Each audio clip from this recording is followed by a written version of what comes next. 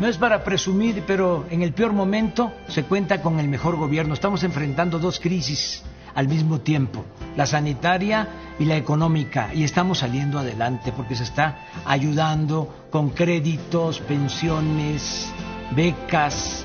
Nuestros paisanos migrantes están enviando como nunca remesas a sus familiares. México está demostrando de nuevo su fortaleza. Segundo informe.